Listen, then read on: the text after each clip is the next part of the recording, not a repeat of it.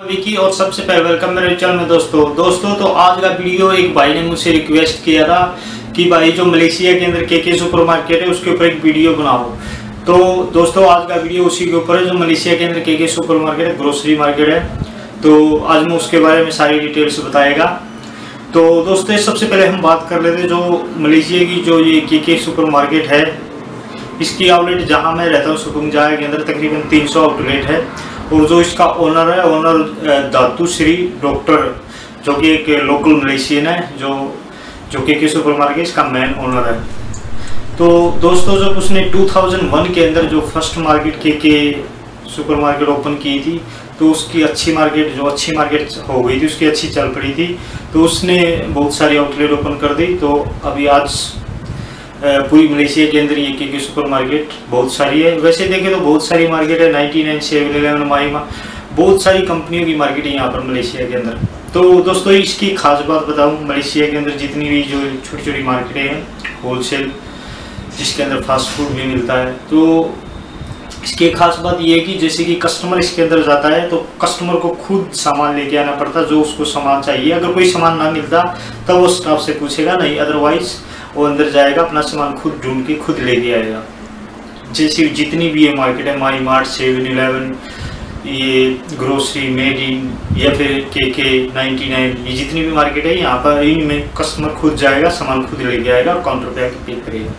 लेकिन जैसे इंडिया के अंदर जो बिग बिग बाज़ार है, वो वहाँ तो जो कस्टमर खुद जाके लेके आएगा, लेकिन जो छोटी छोटी मार्केट छोटे छोटे शॉप है, वहाँ पर स्टाफ होते स्टाफ उसको सामान देगा, जो सामान चाहिए।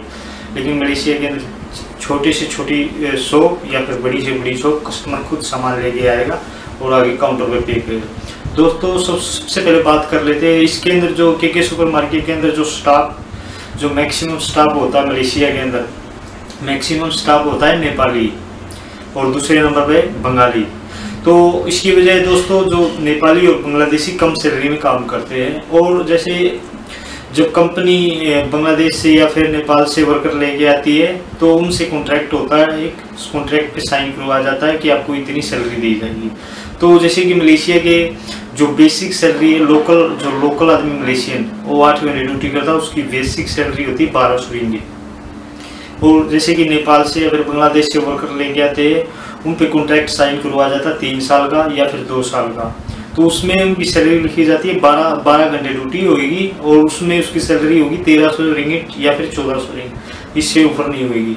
तो मैक्सिमम चौदह सौ रिंगिट होगी, बाद में वो जब काम करता है, एक साल हो जाता है उसको, उसके बाद सौ रिंगिट और बढ़ा देते हैं तो चौदह सौ सैलरी हो जाती है। तो जो बंगाली और नेपाली, तेरह सौ, चौदह सौ सैलरी में काम करते हैं, दो से तीन साल तक। तो उसमें उनको फ़ायदा है। एक जैसे लोकल आठ घंटे की बारह सौ सैलरी लेता है और अगर वो ओवर टाइम करता है तो उसकी तो सैलरी सत्रह सौ अठारह सौ, दो हज़ार तक पहुँच जाएगी। तो इस वजह से जो वर्कर बाहर से हायर करके लेते, लेके आते, दो सौ से तीन सौ आदमी एक बार लेके आते हैं। अभी जैसे थोड़े आदमी तो लेके नहीं आ सकते, अगर कभी कभी स्टाफ की ज़रूरत पड़ जाती है तो जैसे इंडियन या फिर पाकिस्तानी या फिर किसी भी और कंट्री का वर्कर रख लेते हैं, उसमें जैसे एजेंट होता है एजेंट को कॉन्ट्रैक्ट दिया होता है कि आप मुझे इतने आदमी दो, मैं आपका इतनी सैलरी देगा। कंपनी उसको पैसा देती है। जैसे कि एक आदमी के वो दो हज़ार रिंगिट मलेशियन लेता है तो आपको एजेंट आपको वहाँ पर जॉब दिलाएगा तो एजेंट आपको देगा चौदह सौ से पंद्रह सौ रिंगिट तो उसमें एजेंट का कमीशन होता है। और जो ड्यूटी होती है, बारह घंटे होती है, जो फॉरनर होता है। और जो लोकल होता है, उसकी आठ घंटे ड्यूटी। तो अभी जैसी कंपनियाँ इसमें इंडियन और पाकिस्तानी को अंडर कंपनी में नहीं लिया जाता वीज़ा नहीं देती। किसी भी कंपनी का, जैसे कि ग्रोसरी मार्केट सेवन इलेवन या फिर नाइन्टी नाइन ये super market K K market इसमें इंडियन को वीज़ा नहीं मिलता। लेकिन जो बड़ी बड़ी होलसेल मार्केट बड़ी मार्केटों के अंदर मिल जाता है, लेकिन छोटी मार्केट के अंदर नहीं मिलता। वहाँ पर ज़्यादातर नेपाली को या फिर बंगाली को रखा जाता है। लेकिन जो जैसे कि इंडियन या पाकिस्तानी, जिनको ये छोटी मार्केटों के अंदर काम नहीं दिया जाता। लेकिन जो बड़ी बड़ी मार्केट है, जैसे मेड इन हुई जायंट हुई फ्रेश मार्केट हुई, जितनी भी बड़ी बड़ी मार्केट है मलेशिया के अंदर, उसके अंदर आपको सब सब कंट्री का आदमी काम करता पाएगा नेपाली, बांग्लादेशी इंडियन पाकिस्तानी, सब कंट्री का आदमी मिलेगा वहाँ पर।